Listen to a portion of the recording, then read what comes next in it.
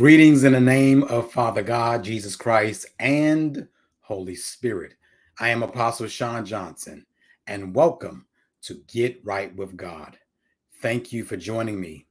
Subscribe to my YouTube channel, Get Right with God TV official, and click the bell to get notifications so you'll know when I am publishing new content. With that said, let us pray. Eternal God, our Father, we thank you. We praise you. We honor you. We give you all the glory because you are worthy of it. And so we thank you, O God, for allowing me to share another message. Thank you for the opportunity. I pray that you would just help me to speak with clarity, speak clear. I pray that those who received will be changed and transformed. In Jesus' name we pray. Amen and amen. Again, I'm Apostle Shaun Johnson, and welcome to get right with God. Let's get right into God's word. First Thessalonians chapter number four, and we're going to glance at verses number three through five. I'm reading from the King James Version. Your translation may be different, but the meaning is always the same. Again, First Thessalonians chapter number four, three, four, and five. I'll bring it up for you. First Thessalonians chapter number four, verses three, four, and five. New King James King James Version reads, For this is the will of God, even your sanctification, that ye should abstain from fornication, that every one of you should know how to possess his vessel in sanctification and honor not in the lust of concubines, even as the Gentiles which know not God. I want to go back to verse 3, the B clause, which says, abstain from fornication. For a moment, I would like to minister from this series entitled Fornication.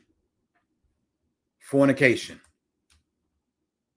From the series entitled Strange Addictions, I would like to teach from the subject fornication. Let's talk about fornication. In the previous message, we talked about sexual immorality.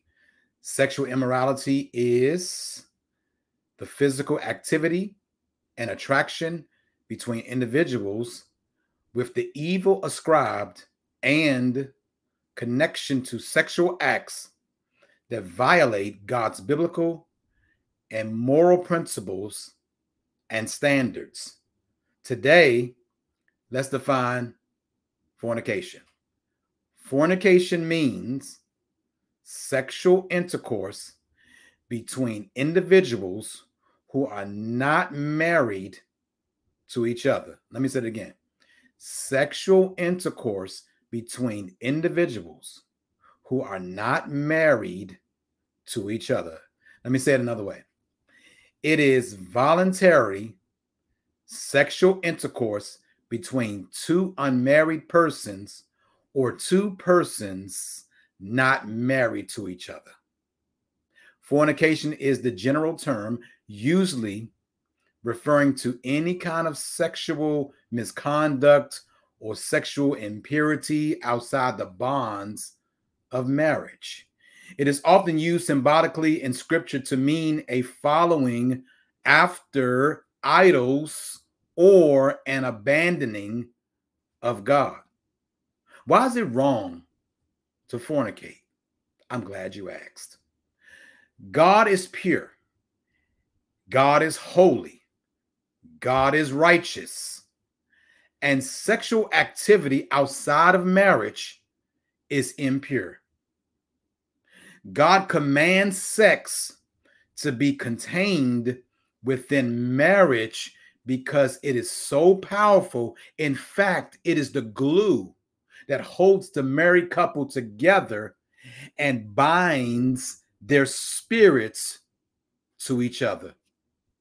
First Corinthians chapter number 6 verse 16 NIV says, "Do you not know that he who unites himself with a prostitute is one with her body? For it is said, the two will become one flesh." Message translation says like this There's more to sex than mere skin. Sex is as much spiritual mystery as physical fact. As written in scripture, the two become one. See, God created sex with commitment and intimacy for marriage. One woman one man, one man, one woman, commitment, intimacy, sex. God created it for marriage.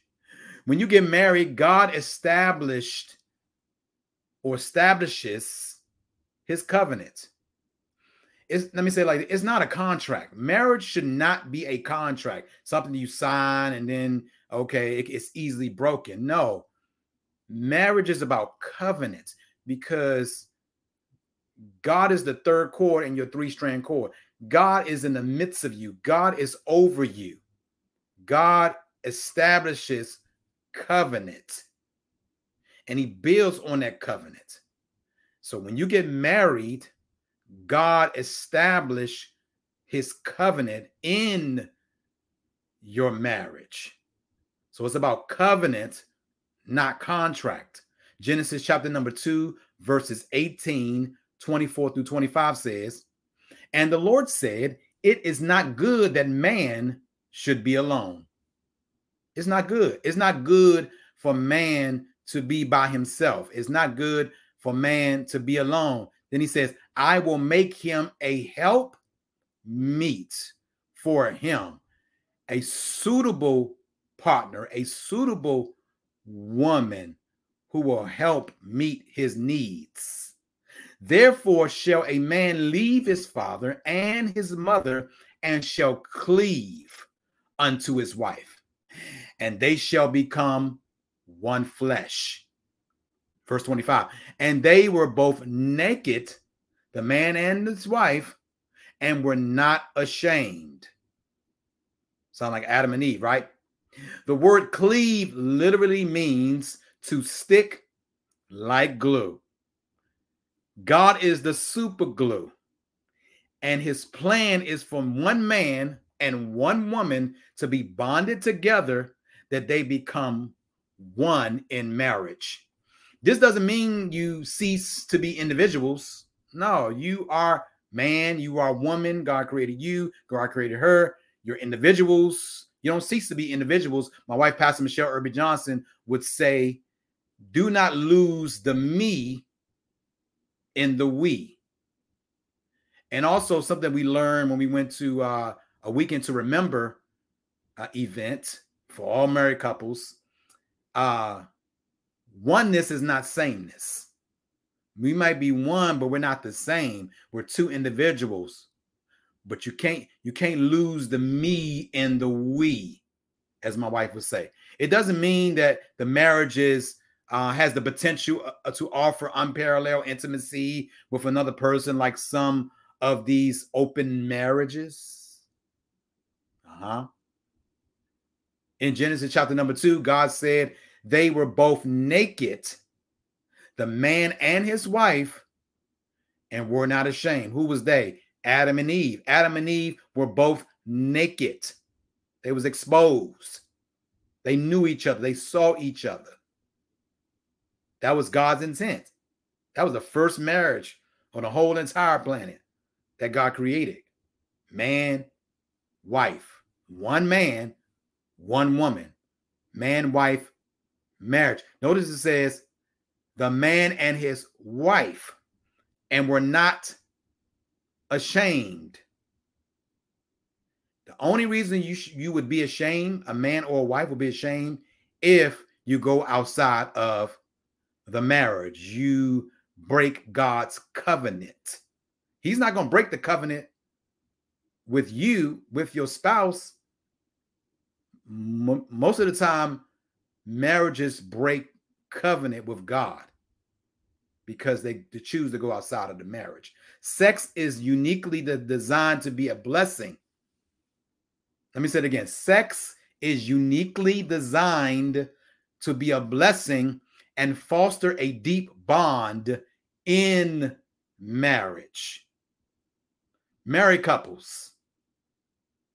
In God's eyes, frequent sex not only maintains your connection to God, but connection with your spouse, with each other, and it enhances it.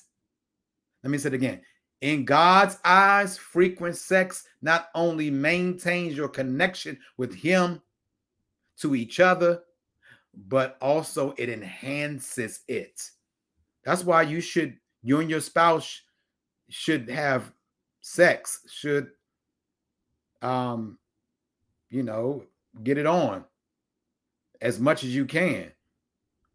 You know, um, I understand physical challenges and things like that, but as much as you can to help each other, to be there for one another, to not just be intimate, but but be be sexually intimate, sex have sexual intercourse as as much as you can, frequent as you can, because it's a blessing.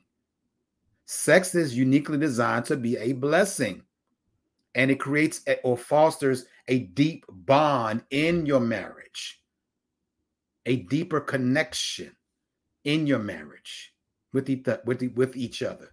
Let me go on. If someone tells you that sexual sin, sexual intercourse, sexual Im- impurity, sexual immorality, sexual activity, fornication is not a sin, they are sadly mistaken. In God's eyes, it's bad. Fornication is bad. Um, sin is bad. It's sinful. Fornication is sinful. Fornication is wicked. Fornication is unrighteous, unholy, and ungodly. Mm-hmm. Ask the father of a teenage daughter if it's a sin for him to teach, um, to touch her vagina uh, and, and, and have sex with him. Ask the mother of a teenage son if it's a sin for her to touch his genitals and have sex with him. Ask the, the, the women engaged in their fiance's life if it's okay to have sex with a friend or or, or, or female, another female, or another male, um, or co-worker, or some random dude, or some random girl. Ask him. Ask the man engaged to his fiance if it's okay to watch porn or and, and masturbate. Ask. Fornication is not right. Let me say it again. Fornication is not right. It is not right. Fornication is not right. It's wrong. We must not please ourselves with this sin, but take pleasure in pleasing God. In the text, the Apostle Paul says in his epistle, that word epistle means letter. He says, For this is the will of God, even your sanctification. Pause.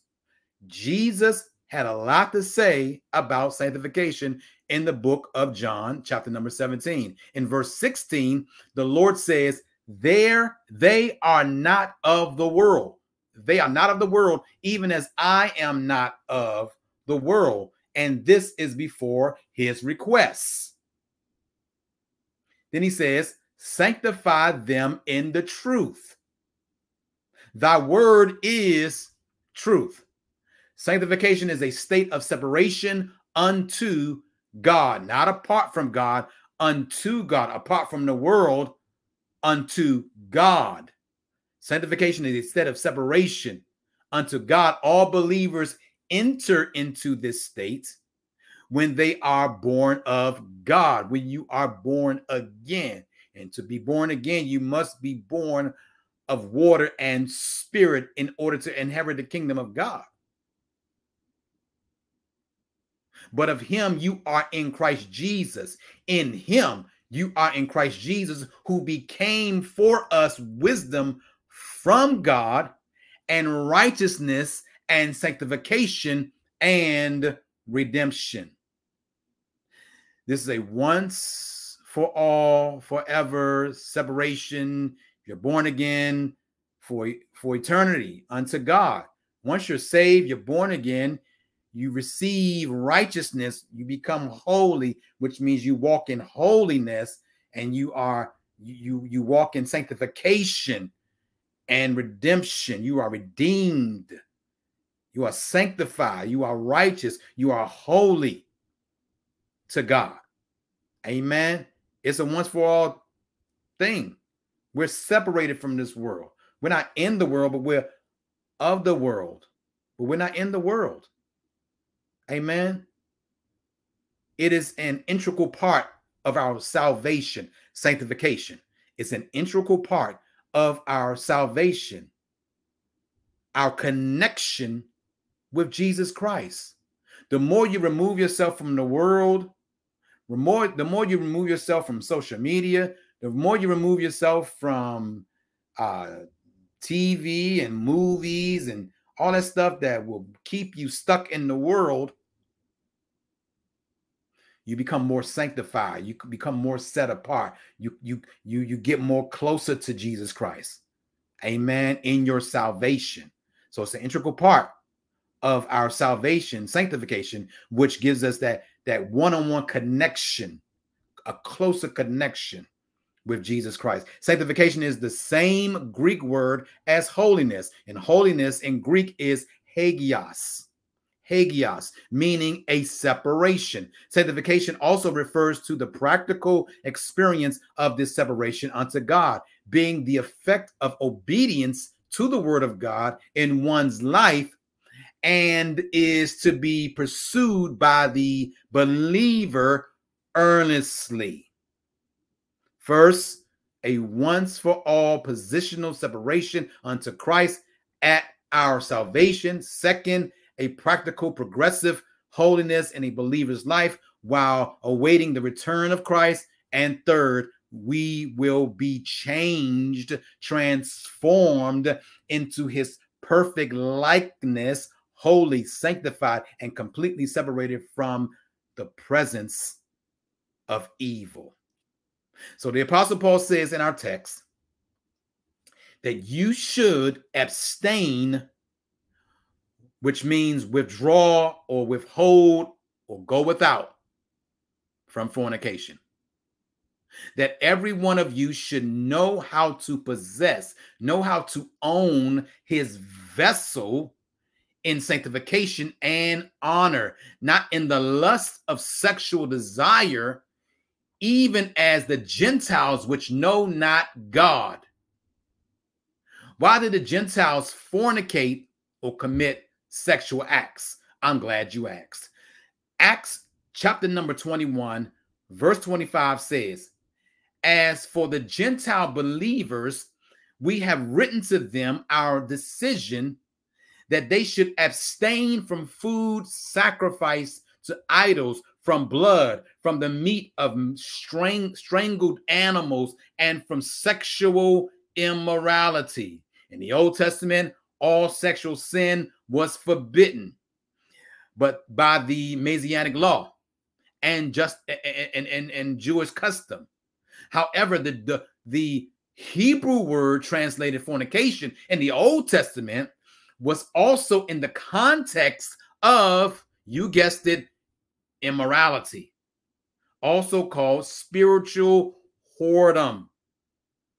Immorality is also called spiritual whoredom.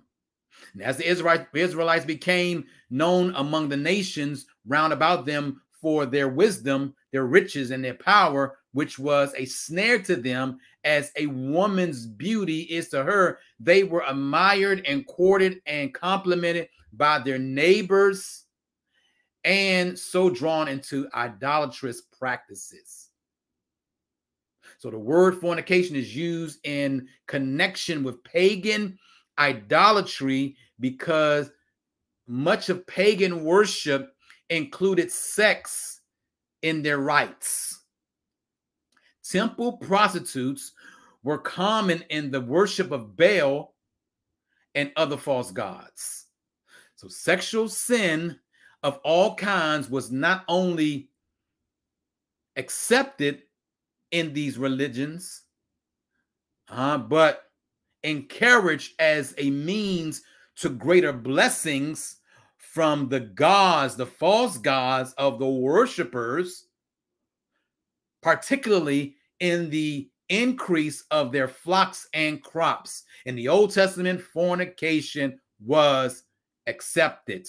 In the New Testament, fornication comes from the Greek word porneia, porneia, which is where we get the word, you guessed it, porn, which includes idolatry and incest.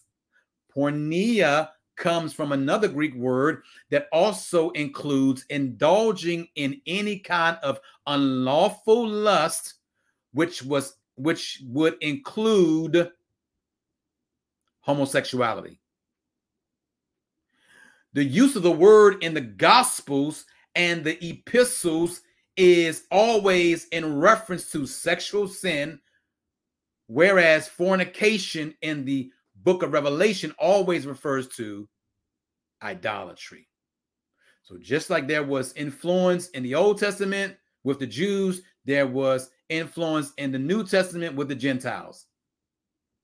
And there is still strong influence in the church. There are still strongholds in the church. There is still idolatry going on in the world. There is still wickedness going on in the world. There's still a lot of people, including the saints, who are fornicating all over the place, sinning all over the place, and will not give it to God.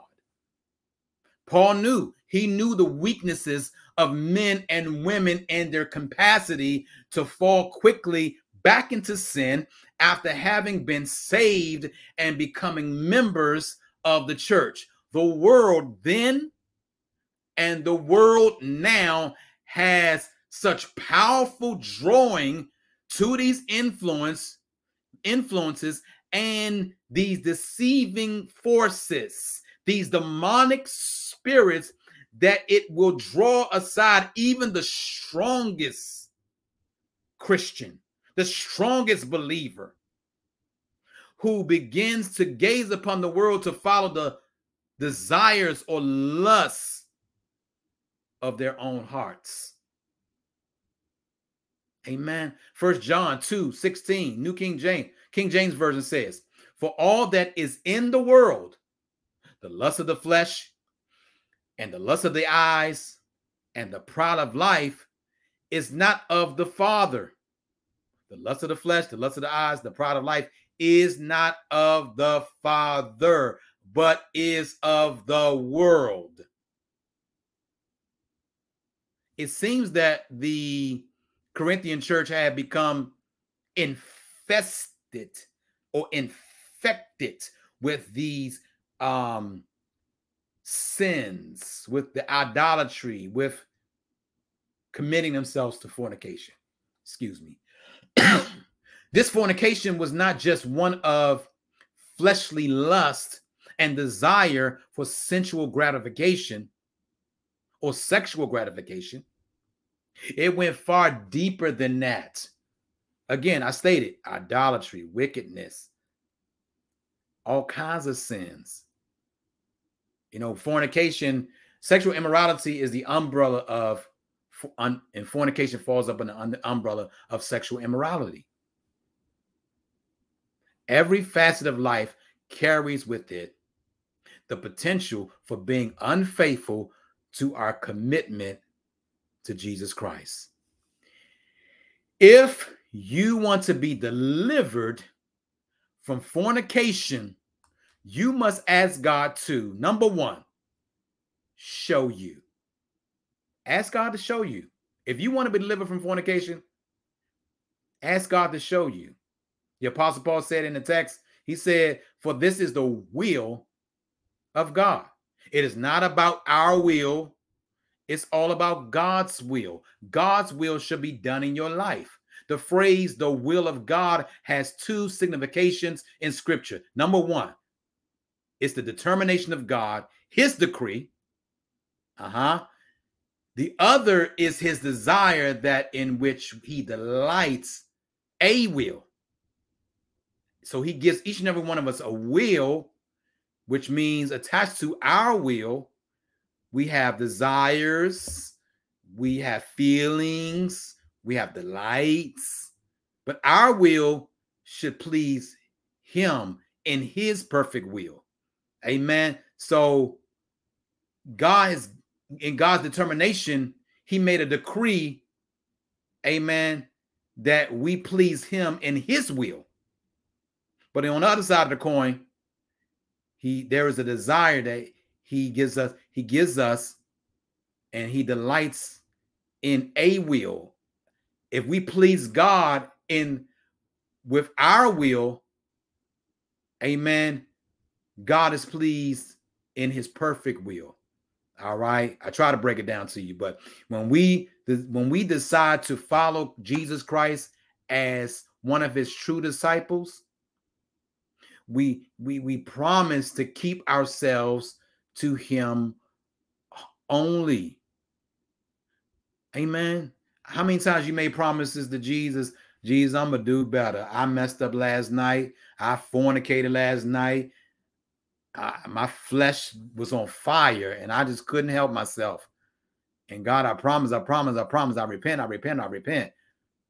I'm gonna turn around, I'm gonna change, I'm gonna change, I'm gonna change. How many times have you gone to God? Have you gone to Jesus and say, please forgive me? I'm so sorry.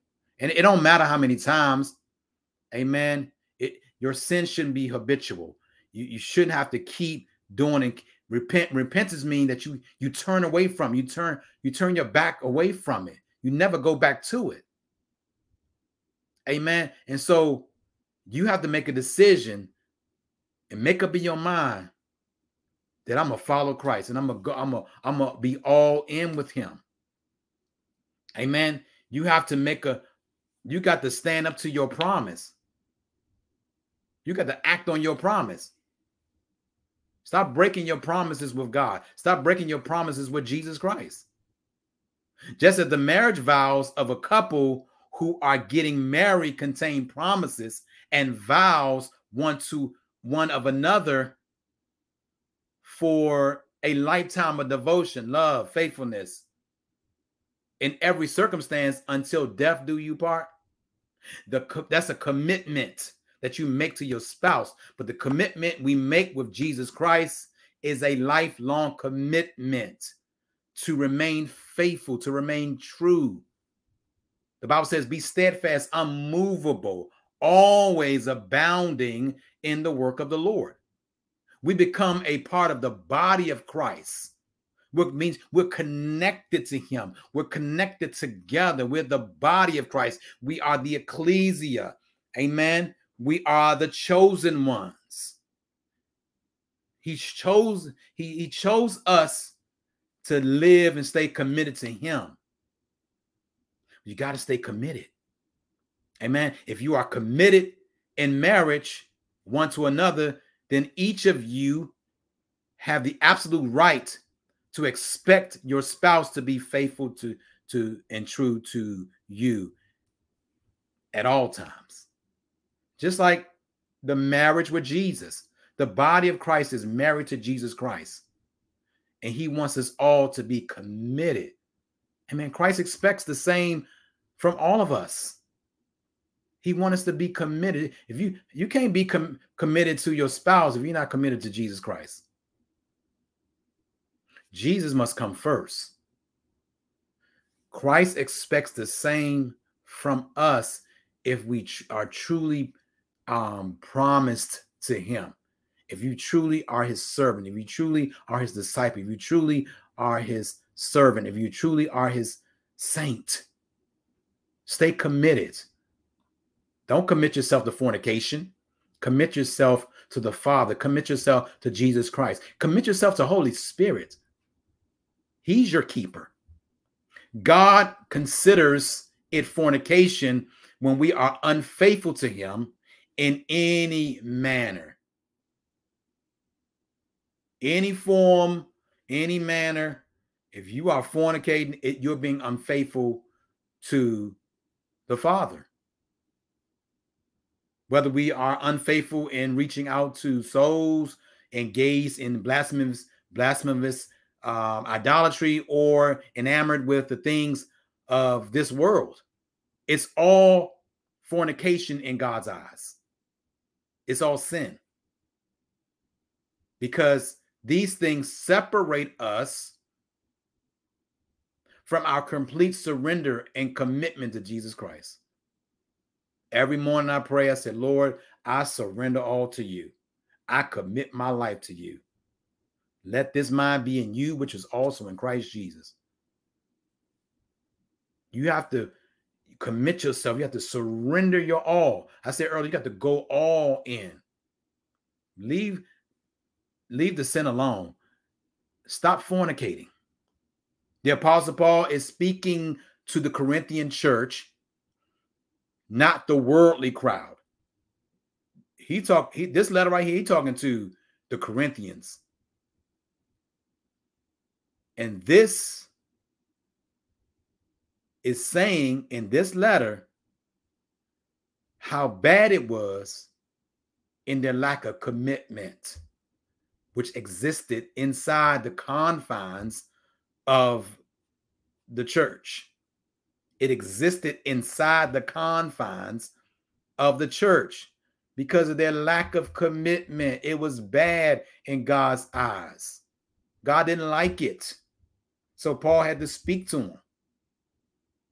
There are many who are not living their lives committed to Jesus Christ and still claim to be a Christian.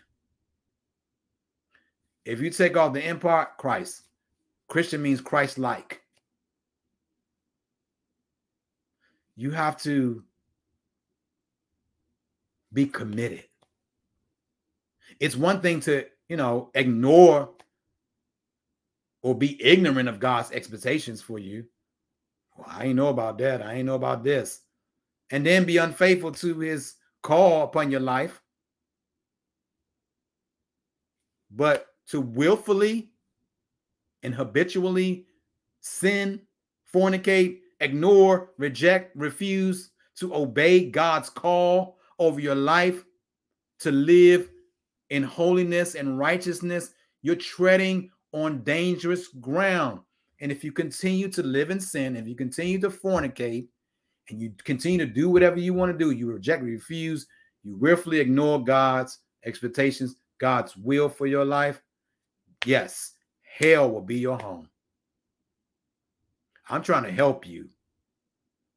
And the only way you're going to get to inherit the kingdom of God and get to heaven is if you don't have spot or wrinkle, if you are free from self inflicted nonsense. That's why you have to ask God to show you you. You have to ask God to show you you. I have to ask God to show me me every single day. Ask God to show you you every day in every way. We have to surrender all. Song says, I'm yours, Lord. Try me now and see. See if I can be completely yours. Second Timothy chapter number 2 verse 22 says, "Therefore if anyone cleanses himself from these things, he will be a vessel of honor, sanctified, useful to the master, prepared for every good work. Now flee from useful lust.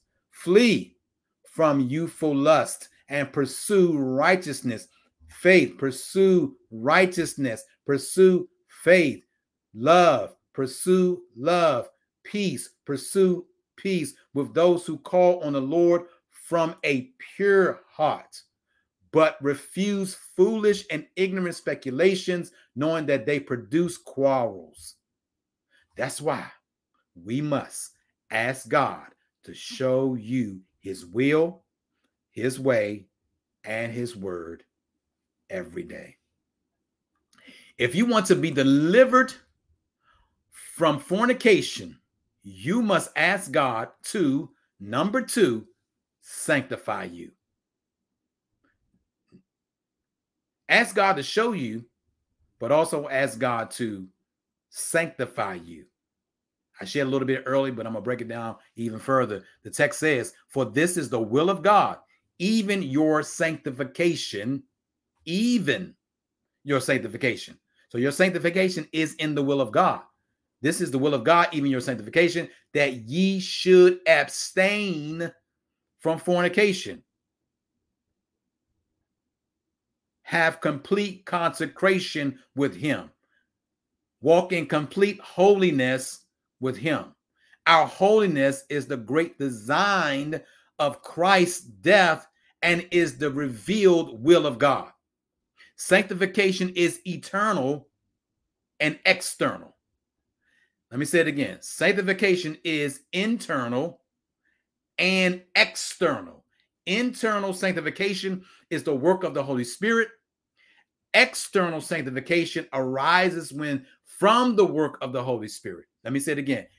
Internal sanctification is the work of Holy Spirit. External sanctification arises from the work of the Holy Spirit. In the world, we must be set apart.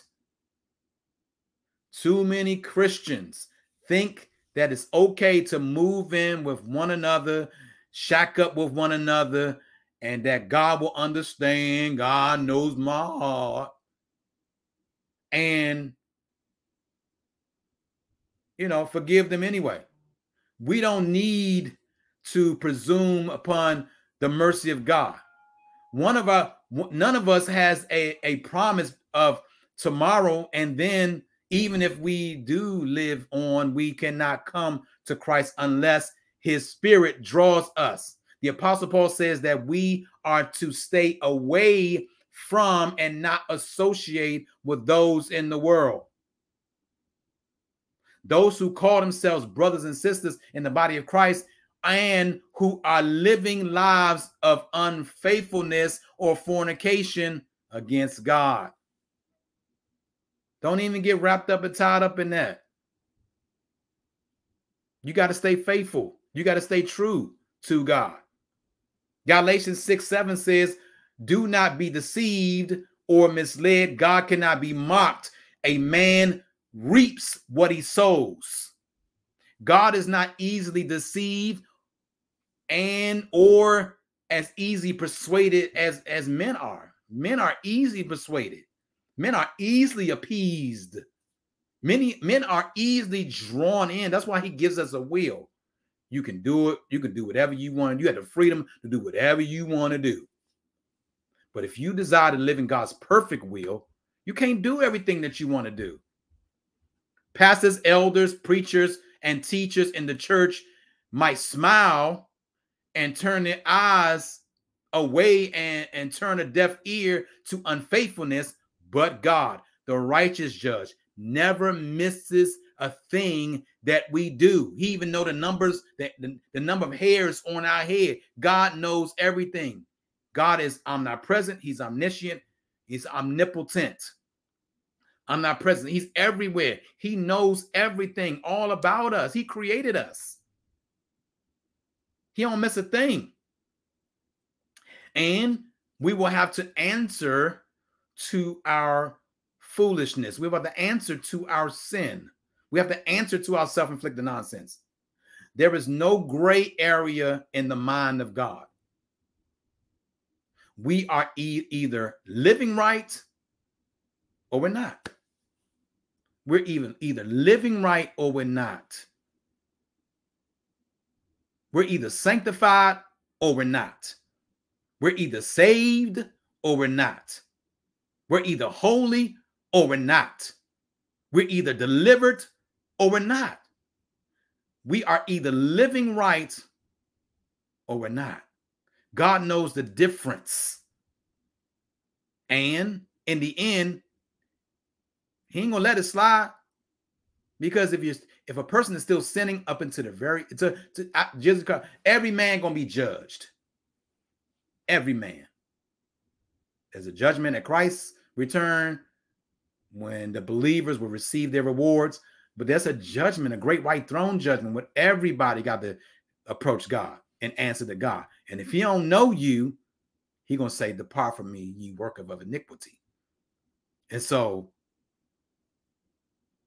that's why we must ask God to sanctify us. You got to ask God to sanctify you and to live in his will, his way, his word every day. I got one more. Y'all want to, y'all want to, y'all, y'all want it, y'all want to get it. All right, I got one more. All right. If you want to be delivered from fornication, you have to ask God to, lastly, number three, sustain you. Ask God to sustain you. Ask God to show you. Ask God to sanctify you. But also ask God to sustain you. If you want to be delivered from fornication, ask God to sustain you. Let's go back to the text. It says that every one of you should know how to possess his vessel. In other words, we have to learn how to control our bodies. We have to learn how to control this flesh because this flesh will fight you every single day. You have to learn how to possess your vessel. Amen. You the Israelites were out of control. The Jews and Gentiles were out of control. And the church is out of control. If you're fornicating all over the place, spreading your wild oats, you are out of control. The body of Christ has to learn how to have self control. Galatians chapter number 5, verses 22 and 23 says, But the fruit of the Spirit is love, joy, peace, forbearance, which is long suffering, kindness, goodness, faithfulness, gentleness, and self control. Against such the, the things, there is no law. We have to have self control, people. This flesh you got to let this flesh, the Bible says, let this flesh die daily. The flesh is always warned against the spirit. But we can have self control and let, not let the spirit win over you. Amen. Not only self control, but you have to have self discipline. You have to learn how to discipline yourself. I'm married and I have desires. And it's a struggle every single day because my libido, I desire my only desire my wife. I don't desire another woman. I don't desire a man, nobody. My heart's desire is God, Jesus Christ, Holy Spirit, my wife. Amen. And so when times there are times when you are not, when she's when we're not, you know, tired or whatever like that, yeah, you you you got to hold yourself. You got to pray. You got to seek the Lord. You got to ask the Lord to sustain you, to help you in those moments. You if, if your flesh is on fire, go to God. Stay busy. Do something. Clean the house. Go to a movie. Do something to take your mind off it. But apostle, it's, it's so hard. I, I can't deal with it. I can't do it. It's hard. When God gives us the fruit of the Spirit to sustain us, He gave us the ability to control or restrain ourselves from all kinds of feelings, impulses, emotions, and desires, which includes the desire for physical and material comfort. Sometimes our flesh causes us to succumb to uh, the persistent pull and tug. You ever feel that pull and tug? You know, man, it's hard. It's a, you know, I'm, I'm home by myself and I feel this pull and tug, this pull and tug, this tug and pull of sexual sinful desires. We're all human. We're not all super spiritual, super holy. You know, We don't always operate in the spirit and prophesy, speaking in tongues all day long. We're human. You know, we all got jobs and we all got lives and we all, you know, we we still do some things, you know. But yeah, the sin, those desires will rise up, will try to overtake you. The Apostle Paul calls us to purify ourselves from everything that contaminates the body and spirit, perfecting holiness out of reverence for God. I like that. Perfecting holiness out of reverence for God. That word reverence means having a fear of God, for God. It's not like being scared. Oh, I'm scared. You know, I'm a, you know, not not not that time. I'm scared of darkness. I'm scared. Of, no, like reverend. When you reverence the Lord, you're fearing God. Amen. You're giving Him what's due. You are you're you're, you're acknowledging that He's holy, and you acknowledge that He's helping you to be holy. But we have, but as we are continuing to on this journey of sanctification, we have to perfect holiness and don't allow things to contaminate our bodies, contaminate our spirits, contaminate our minds. We are called to be, to purify ourselves from everything, like Paul says, everything, everything. Amen. Romans 12, 1 through 2 says, I appeal to you, therefore, brothers, by the mercies of God, that you present, present your bodies as a living sacrifice. This is one of my including in my daily prayers. Present your bodies a, as a living sacrifice, holy and acceptable to God, which is your reasonable service or your spiritual worship. Every single day, it should a it should be a spiritual worship. Every single day, you should want to live holy every single day you want to be accepted by God. Every single day you are to be a living sacrifice.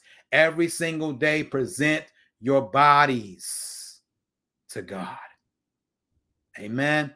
Do not be conformed to this world, but be transformed by the renewing of your mind, that by testing you may discern what is the will of God. Discern what is the will of God. It got to be an everyday thing, y'all. It, you got to transform your mind. Take your mind off the world. Transform your mind. Renew your mind every single. How do you renew your mind? In prayer. How do you renew your mind? In the word. How do you renew your mind? By fasting. How do you renew your mind? By going to worship services, by worshiping God, by praising God. Amen. By just discerning what is the will of God. What is the will of God for your life? Then it says, what is good and acceptable and perfect? What is good and acceptable and perfect? So I encourage you all to stay in God's perfect will for your life. Fornication is not in the will of God. Let me say it again. Fornication is not in the will of God. He will deliver you and sustain you. Sustain means that we have to withstand. Ephesians chapter number 6, verse 13. ESV says, Therefore, take up the whole armor of God that you may be able to withstand in the evil day, and having done all, to stand firm. Ecclesiastes chapter number 4, verse 12 says, And though a man might prevail against one who is alone, two will withstand him and threefold cord is not easily broken. Sustain means that we have to bear. Romans chapter number 15, verse 1 says, We who are strong ought to bear with the failings of the weak and not to please ourselves.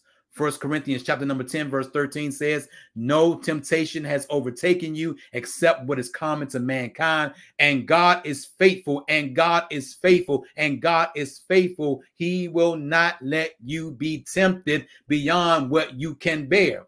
My God from Zion, He will not let you be tempted beyond what you can bear. But when you are tempted, He will also provide a way out so that you can endure it. One translation says, He'll provide a way of escape. Amen. You can endure, which means, which, this is what sustain means. Sustain means to endure. Jesus says in Matthew chapter number 24, verse 13, because lawlessness is increased, most people's love will grow cold or wax cold. But the one who endures to the end, he will be saved. This gospel of the kingdom shall be preached in the whole world as a testimony to all nations, and then the end will come. Second Timothy chapter number 2, verse 3 says, Thou therefore endure hardness as a good soldier of Jesus Christ.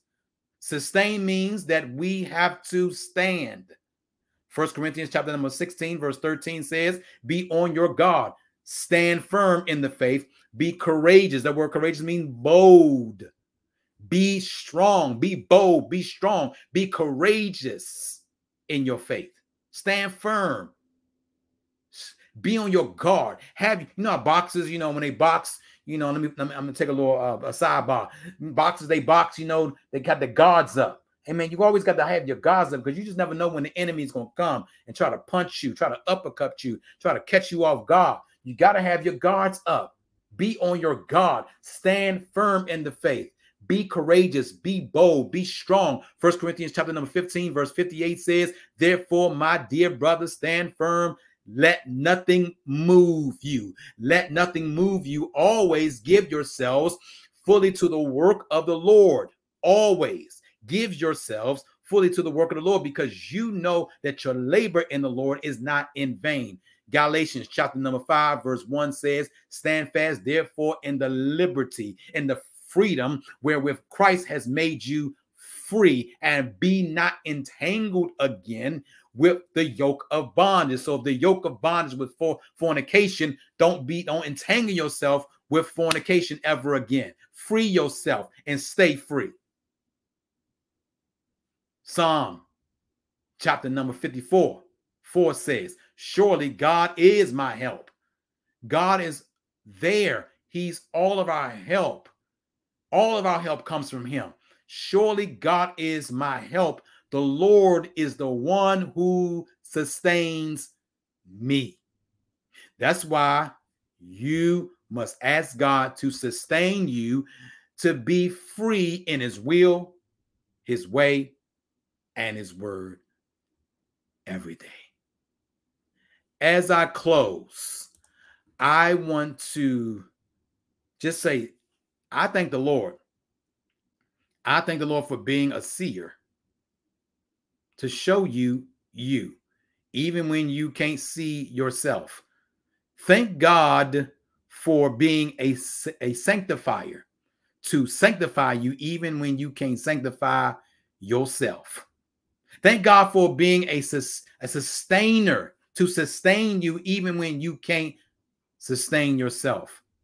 And from this day forward, I want you to be totally committed to Jesus Christ. I want you to be totally to, committed to Father God. I want you to live in holiness and righteousness. I want you to walk in holiness and rightness before God. From this day forward, be unspotted and be unblemished before God. From this day forward, keep yourself pure and holy before God.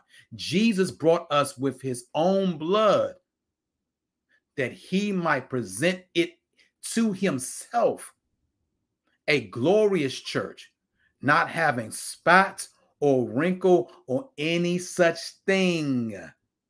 Let's include fornication. That's the any such thing. He want his church to be a glorious church, not having spot or wrinkle, but that it should be holy and without blemish.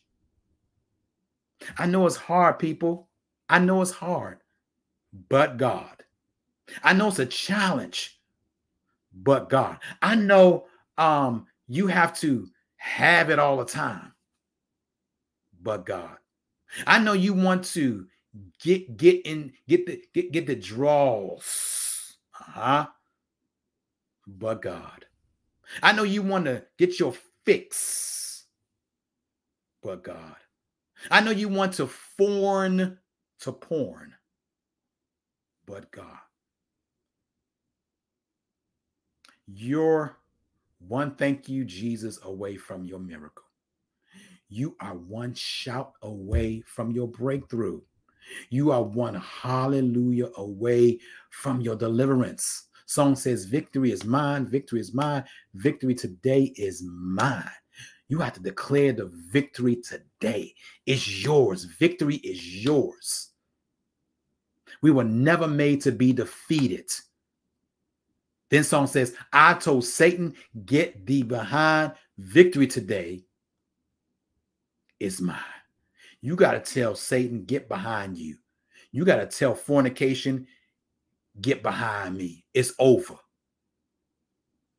You got to tell sexual immorality, get behind me. It's over. Because today you have the victory. You have to declare the victory in your life.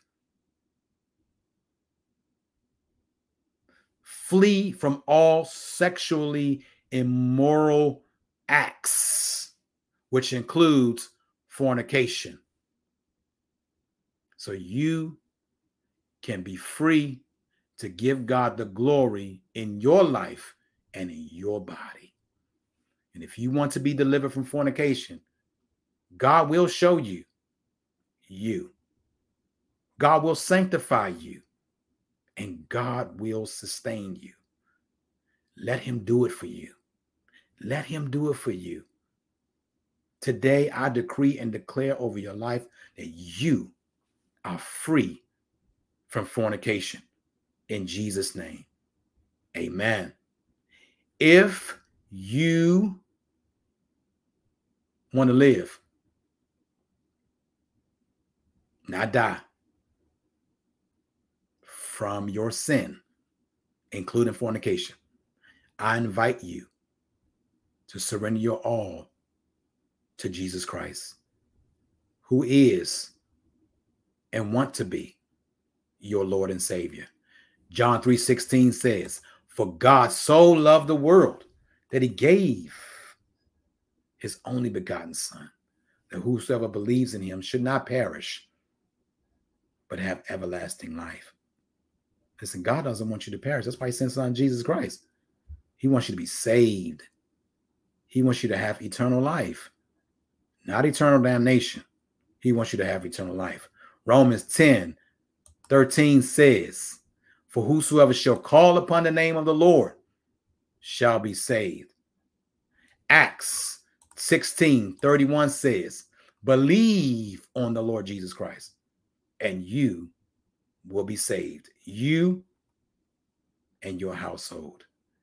To give your life to Jesus Christ, I want you to pray this prayer with me. If you're serious about surrendering your all, including your fornication, to Jesus Christ, I want you to pray this prayer with me. You ready? Let's pray. Dear Jesus, I am a sinner. I want to be saved. I repent of all of my sins. I repent of my foolishness and my fornication. Please forgive me. I confess with my mouth the Lord Jesus and believe in my heart that God raised him from the dead. I believe that Jesus died on the cross for my sins. Save me, change me, transform me, free me, baptize me, deliver me, sanctify me, show me, sanctify me, sustain me, free me, and fill me with your Holy Spirit.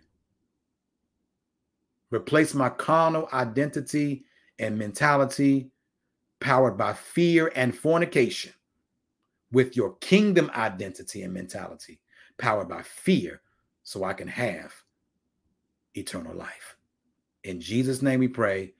Amen and amen. If you accepted the Lord Jesus Christ as your personal Lord and Savior, I want to welcome you to the family of God. Welcome to the family of God. As a believer and a kingdom citizen, you must find yourself a Christ centered, kingdom driven ministry with a Christ centered, kingdom driven pastor or leader so they can help you to grow. So you can they can help you to sow, reap, and expand in God's kingdom.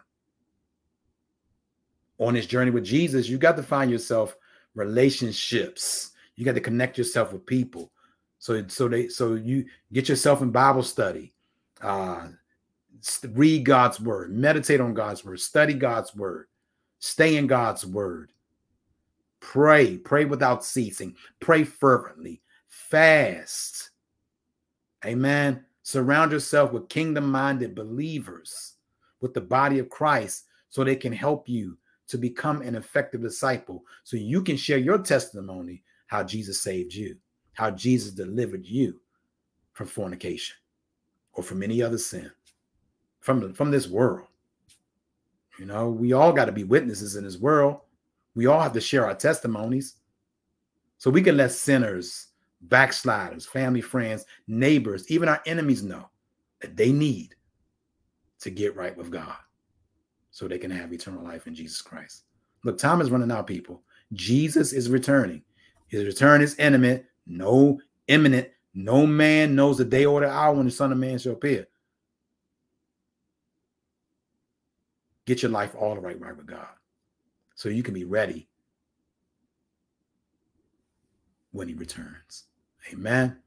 Amen. Once again, I want to welcome you to the family of God. Welcome, welcome, welcome. A few announcements. I'm going to pray and then we'll wrap up. Connect with Apostolic Grace Evangelistic Fellowship, where we are winning souls for God's kingdom. Visit our website at www.agefellowship.org. That's www.agefellowship.org or Shaun Johnson Ministries website at www.shaunjohnsonministries.com. That's www.shaunjohnsonministries.com. Watch Get Right with God TV official on Sundays at 12 o'clock p.m. on YouTube. Make sure you subscribe, share, and get notifications. I have playlists um, videos, probably right now, maybe close to 250 videos out there, past, present, and now some new future videos, future messages that I'm working on. And I just want to share with you. I just want to share the gospel, and I want you to share the gospel. All right, with everybody you you can reach out to. Get right with God, TV official on Sundays at 12 o'clock p.m. Eastern Standard Time on YouTube. Subscribe, share, get notifications. You'll know when I'm publishing new content. And most of the time, I'm, I'm pre-recording, and most of the time, I'm going live. So make sure you go out there and watch the videos and share. Amen. Amen. Let's have a word of prayer. Let's close out. Father, we thank you so much, God, for this message. We thank you, God, for what you have said and what you're doing in this world. Father, I pray, God, for souls, for the lost, for the backslider, for that individual who may be a believer, who may be a Christian, and, and, and they struggle in their flesh. They struggle to flee fornication. I pray for those individuals even now that you would just touch, that you would deliver, send deliverance in the world, send deliverance in the nations, send deliverance in America, send deliverance in every home, God in every person.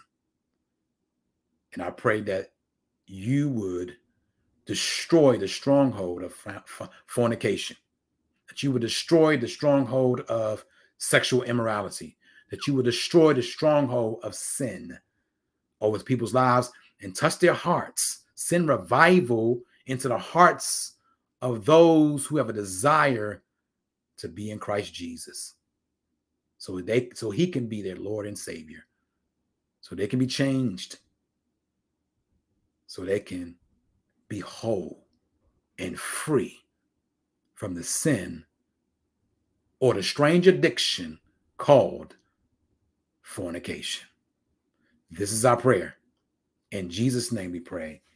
Amen and amen. Thank you for tuning in to Get Right with God.